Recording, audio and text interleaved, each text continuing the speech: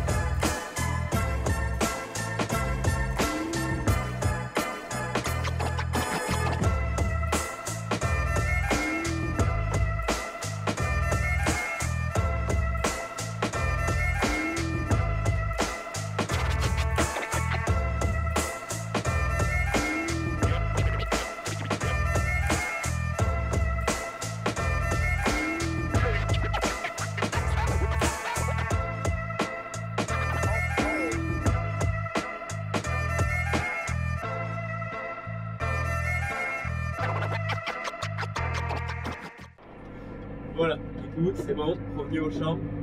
Euh, donc on fait un peu de vibro, donc c'est un vibro skin de la même marque que notre Vibroflex, on est à peu près dans les mêmes largeurs je pense, il doit faire 5m80, donc au GPS pour avoir un peu de croisement je l'ai réglé à 5m60.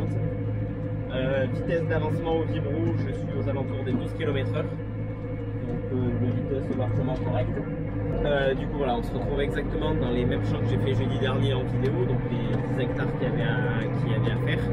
Euh, pourquoi on revient aussitôt Donc là, du coup, ça a été fait jeudi, ça fait même pas une petite, fait une petite semaine qu'on a fait euh, le Vibroflex. Mais en fait, on a vu la météo, il fait sec encore pendant un petit bout de temps. Et on se dit, ce gras, c'est tout qui sont énormes. Le Vibroflex avait scalpé et un peu soulevé, mais avait pas complètement déraciné. Donc là, l'intérêt du vibro, c'est que le vibroculteur, c'est plein de petites dents vibrantes. En tout cas, avec la vitesse, elles vont vibrer et elles vont venir taper et relever euh, la forme arrondie de la dent, fait qu'elle va venir relever ces touches de racines, les aérer et ça va être encore plus alerte qu'avec euh, que ce qui avait été scalpé au vibroflex. Donc euh, ça va permettre euh, de mieux le détruire. Voilà, donc je pense que je vous ai à peu près tout expliqué sur ce que je faisais là maintenant. Et on se retrouve en fin de matinée ou euh, aux prochains travaux qu'il y a à faire. Donc je vous dis à tout à l'heure.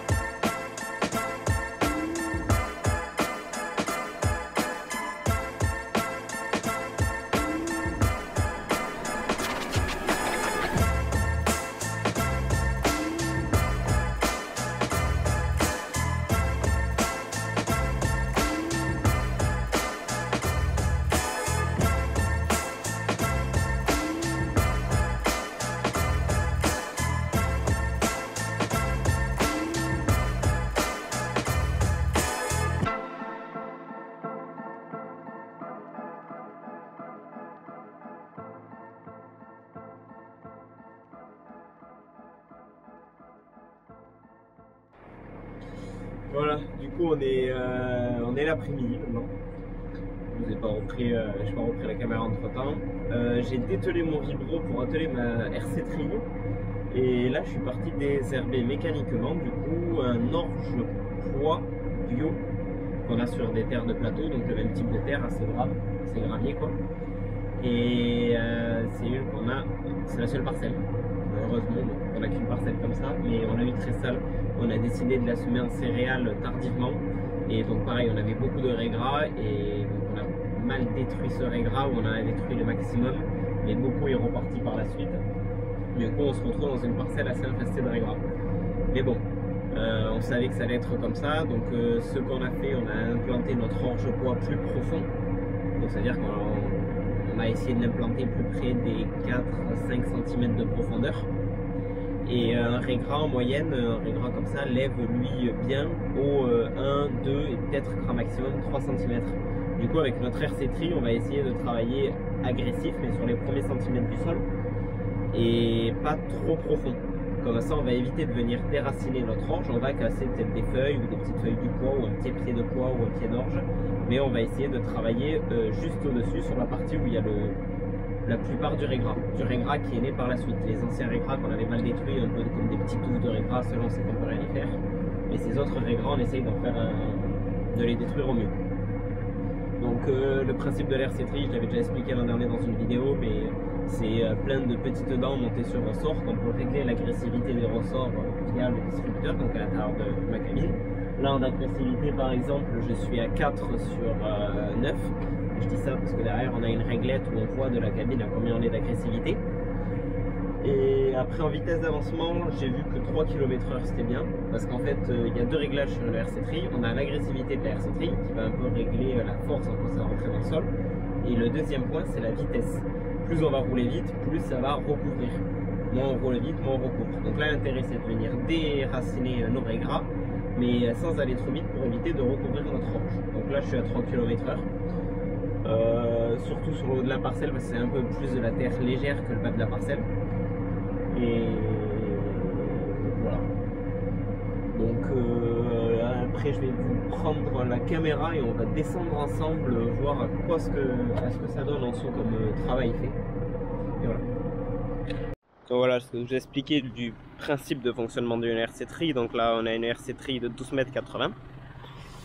Et en fait, c'est des dents qui sont montées comme ça sur un ressort. Bon, celui-là, il est un peu détendu en soi parce qu'il ne travaille pas. Mais sinon, voilà, c'est des dents montées sur un ressort et qu'on règle la tension, en fait, ça, plus ça s'enroule, plus le ressort est tendu, plus il y a d'agressivité. Donc là, en agressivité, comme je vous disais, on est, je vous montre ça, où on a la réglette d'agressivité. Voilà, ici, vous voyez, on a les chiffres de 0 à 9, et on a le petit curseur au milieu pour nous dire à où on en est. Donc, un travail fait, on va se mettre par là, ici, voilà. Donc, euh, on passe la main, qu'est-ce qu'on voit? Bon, On voit un peu que ben, on a certains pieds d'orge qui vont être un peu déracinés, même certains euh, arrachés. Mais sinon, on voit que nos petits régras, vous voyez, hop, donc là il y avait plusieurs pieds de régras qui sont complètement arrachés, mis en surface. Vous voyez, là encore, si on rattrape, il y en a un autre qui tient pas du tout. Bon là ici, il y en a un autre là. Bon là on a une touffe un peu plus grosse qui est là implantée, ce que je vous disais, les grosses touffes. Ça là, quoi qu'on fasse, euh, à part qu'on vienne les arracher comme ça à la main, on n'y fera pas grand chose dessus. Mais sinon, si on regarde dans l'ensemble, notre poids qui est ici, lui, euh, il n'est pas cassé du tout. Notre orge en général va bien. Bon là, on dirait de la mercuriale ici, si je dis pas de bêtises. Et voilà, donc euh, quand on regarde dans l'ensemble, on essaye d'arracher les mauvaises herbes. Et parce que voilà, Bon là par contre, vous voyez, il y a du régras qui n'a pas été arraché.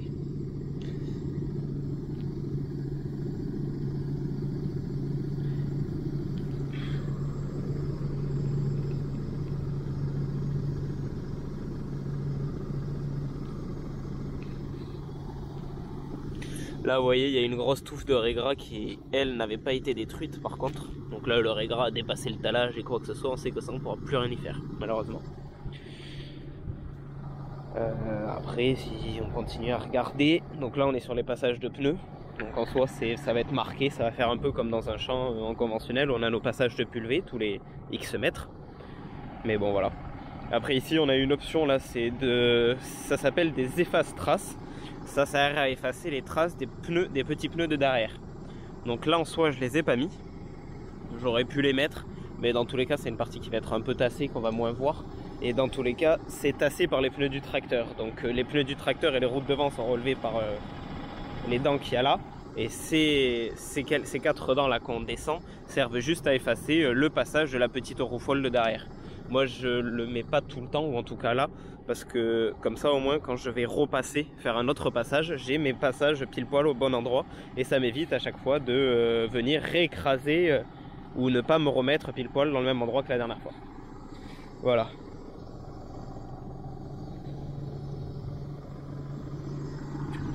Ah oui, je vais peut-être vous montrer avant commencer, avant le passage de la RC Tri, vous voyez, c'est comme ça.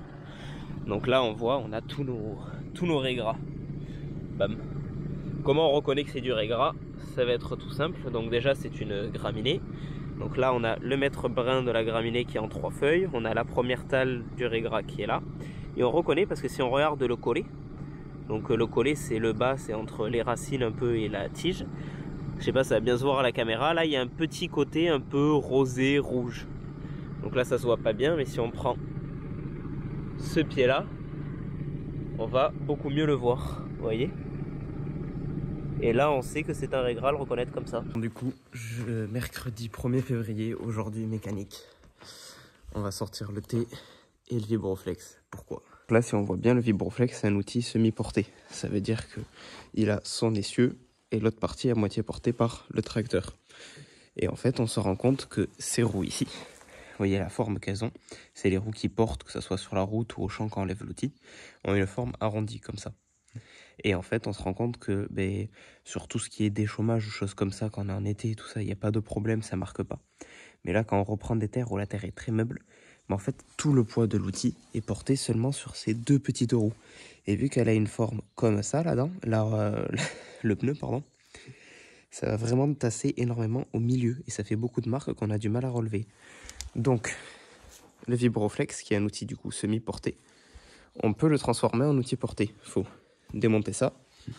On démonte ici notre attelage et on met juste une barre et on l'attellera sur le relevage 3 points du tracteur.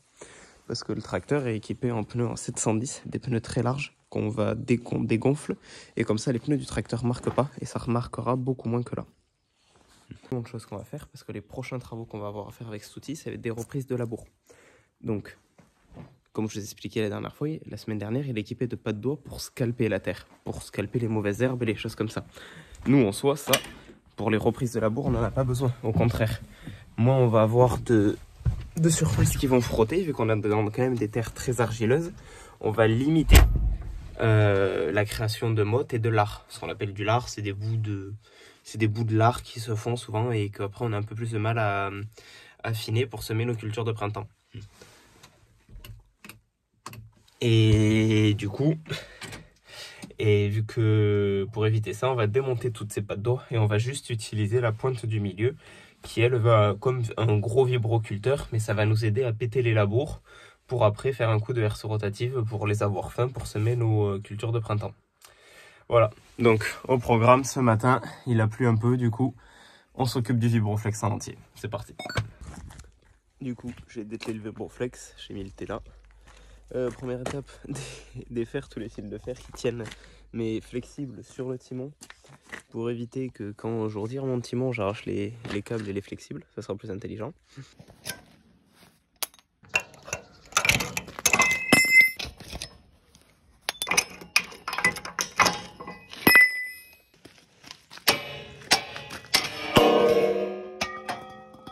Donc l'attelage est posé, mais j'ai un doute. J'ai le timon qui est par terre. Et maintenant on met cette barre. Comme sur le vibro en début de vidéo, vous avez vu, ça s'attelle pareil, c'est la même marque. Donc ou ici, on remet euh, notre clavette euh, comme euh, il y avait tout à l'heure et cette plaque. Ou là, on a juste notre goupille. Et comme ça, on dételle et on ratelle, on tire la barre, ça se dételle. Mais pour moi, il faut des bagues ici. Il faut une bague là, notre boule d'attelage, une autre bague et notre clavette. Vous voyez, il y a beaucoup de jeux.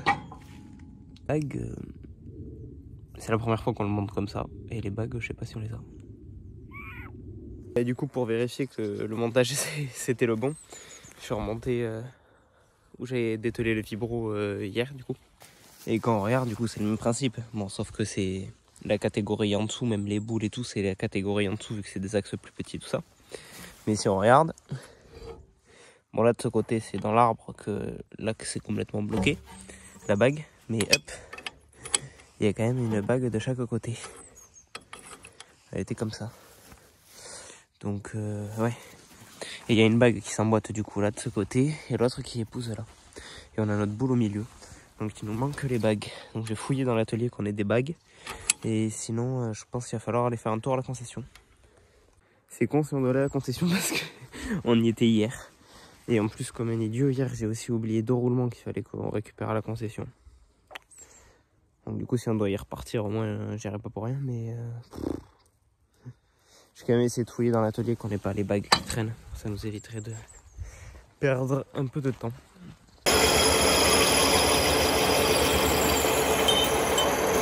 Donc là, on est début de l'après-midi. C'est attelé. Du coup, là, je l'ai mis je l'ai levé au maximum et tiré mon troisième point au max, troisième point hydraulique. Comme ça, je l'ai hyper haut et je l'ai commode pour venir euh, démonter ça. Donc là, pour démonter, rien de plus simple. Derrière, ça se voit mal là, il y a de la terre. Mais vous voyez là, il y a un écrou. Il y en a un second ici.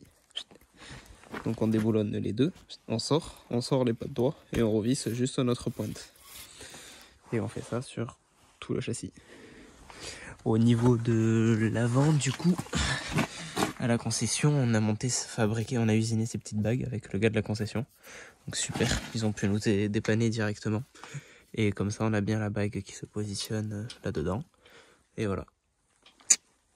Euh, du coup, le Vibroflex, on a fini de le monter euh, ce matin. On a, bah, du coup, on a remonté toutes les, tous les socs en normal, on a retiré toutes les pattes de doigts, je les ai rangés dans l'atelier on est mercredi fin d'après-midi. Euh, mon patron est parti faire le second coup de RC Tri dans la parcelle d'Orge-Bois qu'on a parlé hier. Donc euh, vu que j'avais gardé les lignes GPS, je lui ai dit dans quel sens j'avais commencé, du coup lui il prend dans l'autre sens.